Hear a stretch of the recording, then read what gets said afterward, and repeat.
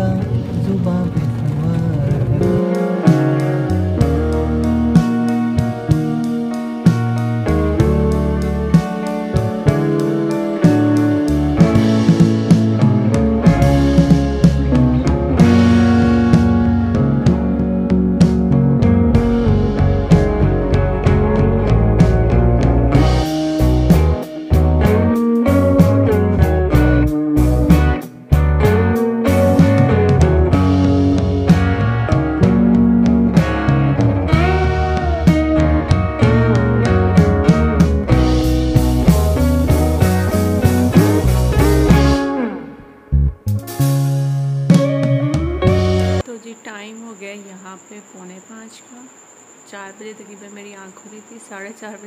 तक पे बैठी रही और अभी उठी हूँ, अब अपना काम जो है वो स्टार्ट करने लगी हूँ। तो सामान सारा निकाले यहाँ पर जैसा कि आप देख सकते हैं मेरा बैग हो ये वो जो भी चीज़ें अब इन सबको हम पैक करते हैं। बैठ के सबसे पहले पीऊँगी पानी का एक गिलास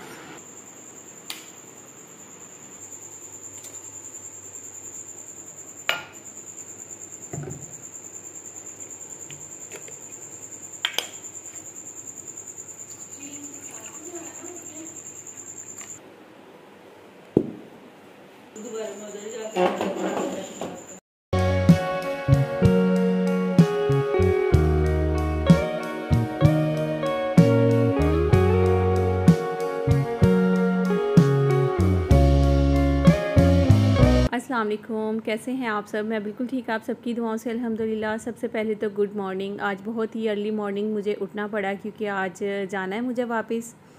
और आज का व्लॉग जो है ना, वो बहुत ही ज़्यादा इमोशनल भी होने वाला है और कहीं ना कहीं बहुत ज़्यादा अच्छा भी होने वाला है। एक तरफ़ बच्चों से मिलने की खुशी, दूसरी तरफ़ माँ बाप का घर छोड़ने का एक दुख, जो कि मैं हमेशा आप लोग के साथ शेयर करती हूँ। मेरे लिए डेली आना, यहाँ पे हफ़्ते में, महीने में या दो तीन महीनों में भी आना पॉसिबल नहीं होता है। साल में एक दफ़ा चक्कर लगा सकती हूँ। तो बस बहुत ही एक अलग सी फीलिंग्स होती हैं। जब वहाँ से मैं आ रही होती हूँ तो उस टाइम पे तो एक अलग ही फीलिंग्स होती हैं, एक अलग ही खुशी होती है उस टाइम पे। और जब वापस आने का टाइम हो रहा था तो मैं वॉक करते करते सोच रही थी कि जब मैं वहाँ से आ रही थी तो मैंने कितने अच्छे से तैयारियाँ की अपनी, मैंने कटिंग करवाई अपनी। बहुत ही खुशी हो रही थी मुझे कि मेरे भाई के यहाँ बेटी हुई है, माशाल्लाह से। और मैंने जल्दी जल्दी से अपनी सारी पैकिंग करी, अपना आप तैयार, खुद को मैंने तैयार किया फ़ौरन से कि मैंने सीधा ही जो है ना, यहाँ से जाना ही हॉस्पिटल में तो मैंने अच्छा सा एक ड्रेस निकाला, वो पहना रिंग्स पहनी बैंगल्स पहनी और मैं अच्छा सा करके तैयार हुई और फिर हमारी प्लेन की टिकट्स थी। तो जहाज़ में बैठे, वहाँ पे हम लोगों ने खाना खाया, मोहम्मद सो गया था माशाल्लाह से साथ में और ये सब चीज़ें जो है ना, वो मेरे जहन में चल रही थी वॉक करते हुए कि जब मैं वहाँ से आई थी और उस टाइम पर कितनी एक अलग सी फीलिंग्स थी, कितनी अच्छी सी एक फीलिंग्स थी, खुशी हो रही थी कि मैं उनसे मिलने के लिए जा रही हूँ। और माशाल्लाह से जब मैं वहाँ पे पहुँची हॉस्पिटल में, सीधा मैं जितना मर्ज़ी थकी हुई थी, जो भी था मुझे फ़ौरन से हॉस्पिटल में पहुँचना था और मैं फिर भाई भाभी से मिली। मैंने छोटी का फेस देखा, माशाल्लाह से मुझे बहुत ही ज़्यादा खुशी हुई और फिर मैंने घुट्टी भी देनी थी इसको क्योंकि मेरी भाभी ने कहा था कि तो आप ही घुट्टी दोगी। तो मैंने कराची से मैं अपनी प्यारी सी भतीजी के लिए माशाल्लाह से वहाँ पे पहुँची और मैंने उसको घुट्टी भी दी और मुझे बहुत ज़्यादा खुशी हुई, माशाल्लाह।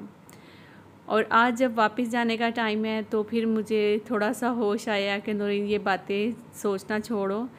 चलो अंदर और चलकर अपनी पैकिंग करो, क्योंकि आज बहुत जल्दी वापस जाना था और भाई और सिस्टर की जो है ना, वो कॉल आ रही थी कि टाइम से उठ जाना टाइम पे जो है ना, वो आना है आपने, क्योंकि हम लोग सुबह ही सुबह निकलेंगे, वरना गर्मी बहुत ज़्यादा हो जाती है। बस फिर वॉक करते करते कुछ यादें अपनी ताज़ा की, जो कि आते वक्त की थी, और अब फिर होश में आई के चले पैकिंग करते हैं।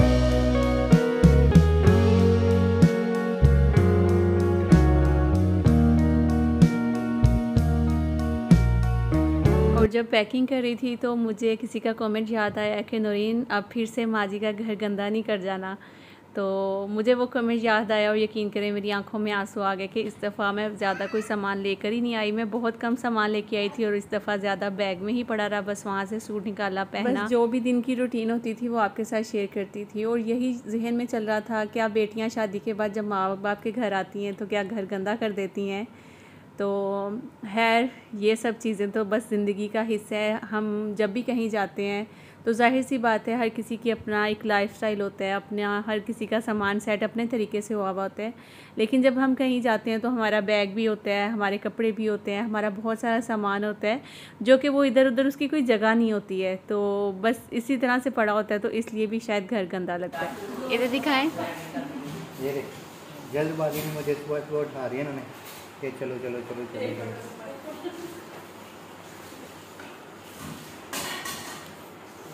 तो भाई भी इतनी जल्दबाजी में कह लें या फिर वो किसी सोचों में थे कि भई अब जो है वो आ, मेरी सिस्टर वापस जा रही हैं। ज़ाहिर सी बात है कोई शो ऑफ़ नहीं करता कोई दिखा नहीं रहा होता दिल में क्या चल रहा है क्या नहीं लेकिन जहन जो है ना हमारे बेशक उसी साइड पे जा रहे होते हैं कि अब पता नहीं दोबारा कब से मिलेंगे। तो है जल्दी से मैं तैयार हुई। तैयार होने के बाद यहाँ पे बड़ी भाभी ने जल्दी से चाय का एक कप बनाया। साथ में उन्होंने रस और बाकरहानी रखी, जो कि मेरा बिल्कुल भी दिल नहीं कर रहा था नाश्ता करने का और टाइम भी ज़्यादा होता जा रहा था। तो बस फिर अभी रुखसती का टाइम आ गया था। मतलब अब घर से रुखसत होना था और मुझे अपने घर वापस आना था। तो माँ बाप के घर में बेटियाँ शायद इतने ही टाइम के लिए आती हैं और अच्छी भी लगती हैं। जब अब्बू थे तो अल्लाह ताला उनको जन्नत में आला मकाम अता फरमाए। उस टाइम पे घर से अपने घर वापस आना वो बहुत ही मुश्किल लम्हा होता था। इतना मुश्किल लम्हा होता था कि मैं आपको बता नहीं सकती थी।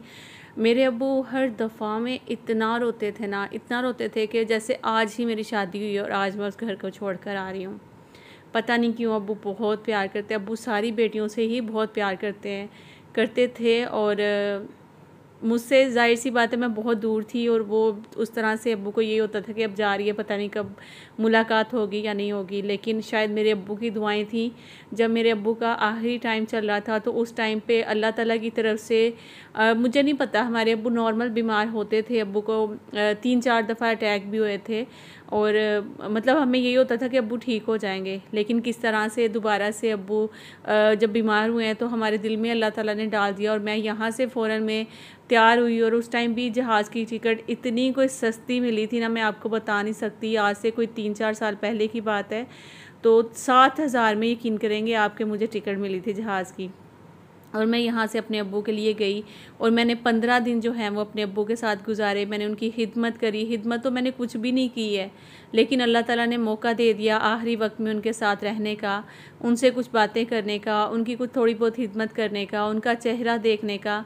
वरना आप यकीन करें कि जब इतनी दूर से बेटियाँ चली जाती हैं ना तो फिर दोबारा कभी इस, ऐसे मौक़ों पर वो पहुँच ही नहीं पाती हैं। माँ बाप का मुँह देखना तक नसीब नहीं होता है। तो बस यहाँ पे जी सबसे मिलकर और भाइयों को मैंने बोला कि एक छोटी सी वीडियो बनवा लो मेरे साथ। और मैं बस थोड़ा सा वो स्लोमो बनवा रही थी और फिर बाद में मुझे इस पर टिकटॉक पे कुछ, क्योंकि मेरे बड़े भाई को ये चीज़ें पसंद नहीं हैं, लेकिन वो हमारी बात सुन लेता है, मान लेता है, जो हम उसको कहते हैं। तो बस यहाँ पे मैंने उनके साथ एक वीडियो बनाई जो कि मैं शॉर्ट वीडियो में आपके साथ शेयर भी करूँगी। तो मैंने फिर इसके ऊपर थोड़ा सा गाना भी लगाया था और आप यकीन करेंगे कि मैं ऊपर से हंस रही हूँ भाइयों को देख के।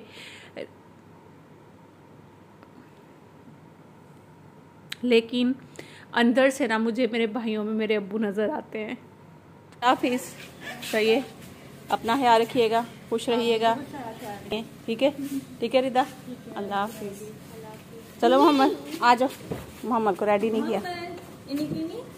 हर दफ़ा में इस तरह से होता है हर दफ़ा में जब भी जाती हूँ जब वहाँ से वापस आती हूँ तो मैं वहाँ की एक एक चीज़ को कैप्चर करने की कोशिश करती हूँ। भले वहाँ की गलियाँ हैं रोड्स हैं दरख्त हैं या फिर वहाँ घर की एक एक चीज़ है चरपाइयाँ पड़ी हुई हैं कुर्सियाँ हैं टेबल है जो चीज़ें भी हैं। मैं उन सबको पता नहीं क्यों बड़े ऐसे देखती हूँ जैसे शायद पता नहीं मैं लास्ट टाइम ना देख रही हूँ कहीं।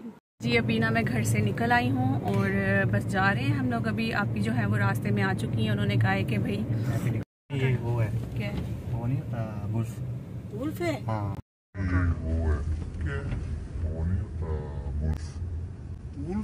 हाँ यहाँ पे वुल्फ भी होते हैं? हाँ इतना छोटा सा ना?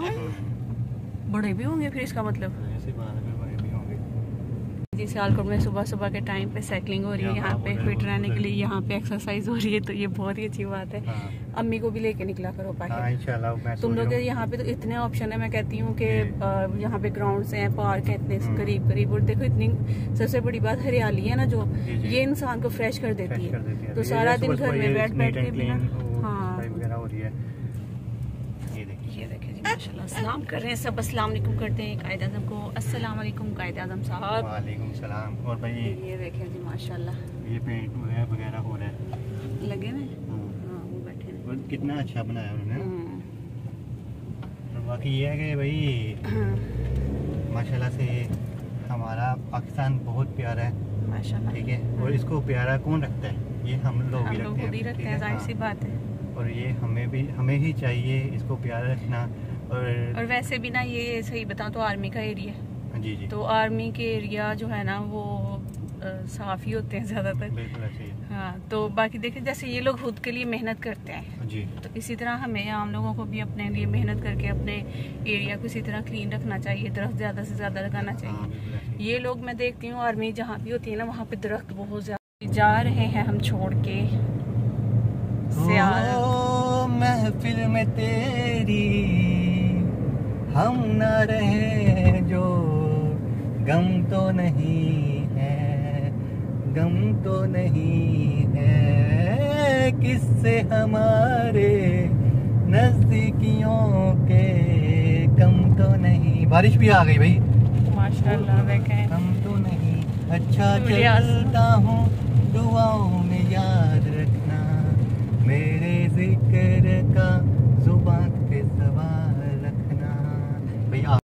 चलता हूँ। दुआओं में याद रखना मेरे ज़िक्र का ज़ुबान पे सवाल बारिश जी तेज़ हो चुकी है यहाँ पे आप लोग देखें जब भी मैं यहाँ से निकलती हूँ तो बारिश जो है ना वो हाँ, तो भाई बारिश माशाल्लाह से बहुत ही तेज़ हो गई है ठीक है अचानक से।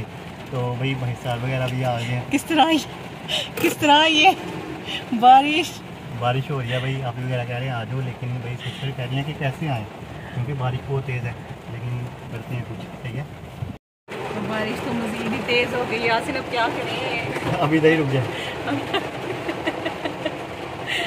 अब क्या करें? बारिश तो और भी ज़्यादा तेज़ हो गई है भाई साहब।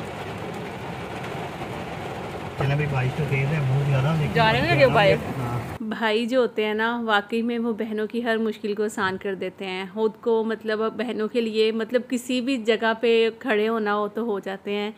आज जब इतनी तेज़ बारिश हो रही थी तो भाई ने ये नहीं सोचा कि मेरे कपड़े गीले हो जाएँगे या मैं गीला हो जाऊँगा, मैंने अभी वापस ड्राइव करके वापस जाना है। तो उन्होंने कहा कि मैं फटाफट से आपका सामान उस गाड़ी में शिफ्ट करता हूँ, बस आपने जो है ना वो फ़ौरन से आके इस गाड़ी से उधर बैठ जाना है। और बल्कि उल्टा पता क्या कह रहे थे, मैं गाड़ी और करीब कर देता हूँ, आप बस इधर से एक कदम रखना और उस गाड़ी में चले जाना। मैंने कहा, नहीं, मैं चली जाऊँगी, टेंशन ना लो। जो मेरे पुराने व्यूवर्स हैं, प्लीज़ ज़रूर कमेंट करके बताना, मैं सही कह रही हूँ या नहीं। जब लास्ट टाइम भी मैं अपने घर से निकली थी और इसी तरह बाहर आते ही बारिश जो है ना एकदम से तेज़ हो गई थी। और उस टाइम भी मैंने यही कहा था कि पता नहीं मेरे अबू जो है ना वो बारिश की सूरत में मुझे रुखसत करने के लिए आए हैं और मिलने के लिए आए हैं। और सेम आज भी जो है ना वो इसी तरह हुआ कि जैसे ही मैं घर से निकली हूँ, थोड़ा सा दूर आई हूँ और इतनी तेज़ बारिश हुई है, इतनी तेज़ बारिश हुई है कि मैं आपको बता नहीं सकती हूँ। तो मेरे दिल में एकदम से यही ख्याल आया कि कहीं फिर से अबू तो नहीं मिलने के लिए आए और मुझे फिर से रुखसत करने के लिए आए हों। तो कब्रिस्तान तो आजकल नहीं जा रही हूँ क्योंकि आप लोगों ने लास्ट टाइम जब मैं गई तो बहुत सारी मेरी बहनों ने कमेंट्स किए कि नौरीन कब्रिस्तान नहीं जाया करें, औरतों को जो है वो मना किया जाता है। और मैंने कुछ एक दो मतलब इस तरह के हादसे भी देखे तो फिर मैं उस दिन से डर गई तो मैंने फिर कब्रिस्तान भी जाना जो है ना वो छोड़ दिया। लेकिन हम लोग घर में बैठ के अपने अबू के लिए बहुत सारी दुआएँ करते हैं और बस अल्लाह ताला उनको जन्नत में आला मकाम अता फरमाए। आप भी उनके लिए बहुत सारी दुआएँ करिएगा। तो का टूल प्लाजा।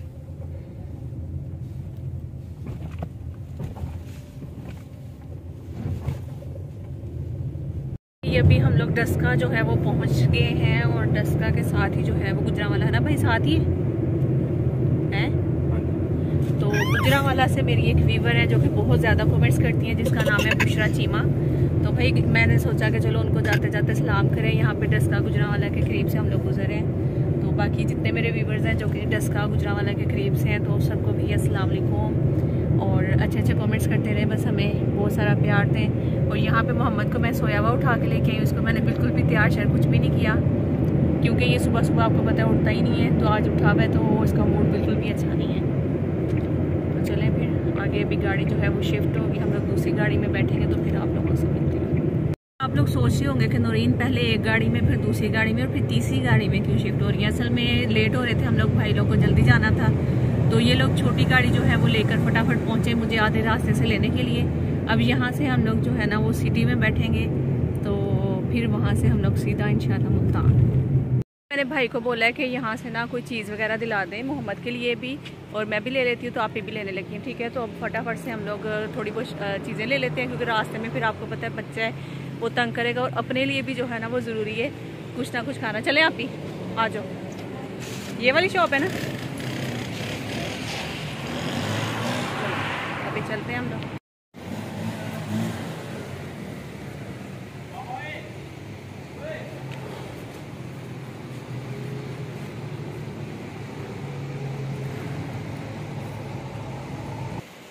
तो अभी हम लोग देख लेते हैं यहाँ से कोई बिस्किट वगैरह।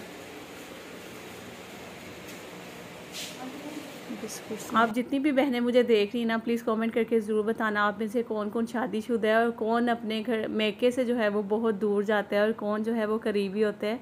और आप कब कब जाकर उनसे मिलते हैं? आ, मतलब जो दूर रहने वाले उनकी फ़ीलिंग्स तो मैं आ, बहुत ही अच्छे से समझ सकती हूँ और यकीनन वो भी मेरी फीलिंग्स जो है ना वो बहुत ही अच्छे से समझ सकते हैं कि जब हम लोग अपने मायके से जाते हैं तो फिर हम यही सोचते हैं पता नहीं साल बाद आएँगे डेढ़ साल बाद आएँगे छः महीने बाद आएँगे कब आएँगे कुछ पता नहीं होता है।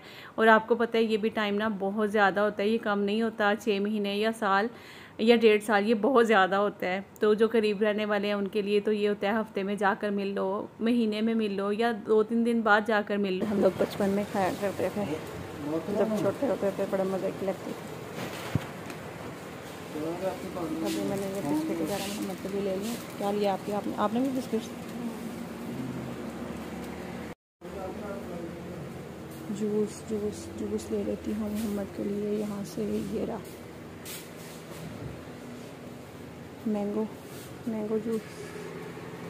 तो स्लाइस है, मैंगो नहीं है नेस्ले में। स्लाइस लेना नहीं है।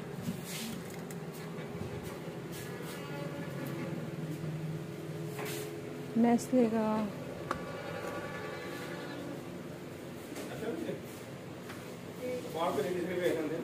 हाँ? मैं मैंगो जूस जो है वो देखने के लिए चलेगी क्योंकि मोहम्मद के लिए मैंने सोचा कि बिस्किट के साथ ना कोई ज़ाहिर लिक्विड भी लेगा, वो तो मैं जूस ले लेती हूँ। और नेस्ले का ही जो मैंगो जूस है ना, वो मैं दे देती हूँ उसको। स्लाइस का जो है ना, उसमें ऐसे लगता है कि कलर ऐड किया हुआ है, बिल्कुल पूरे मुँह का कलर ही चेंज हो जाता है। और वापस आने तक आप ही ने बिल भी पे कर दिया था। देखिए मौसम बहुत ही अच्छा हो रहा है, बस दुआ करें कि मुल्तान तक मैं कह रही हूँ कि ऐसा ही मौसम रहे, फिर तो बहुत ही मज़े हैं भाई। अगर गर्मी होगी तो फिर तो बस कुछ ना कुछ। ये जा रही है जी मेरी सिस्टर और बहनोई। आओ, मैं इधर हूँ। आ जाओ।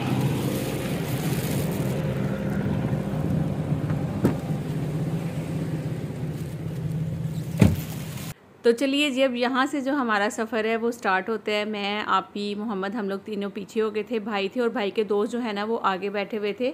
असल में जाना इन्होंने था, जो मेरे बहनोई हैं ना, वो मुल्तान जा रहे थे। उन्होंने अपना ये जो लाइसेंस होता है मतलब ड्राइविंग लाइसेंस जो होता है ना, वो उन्होंने बनवाना था।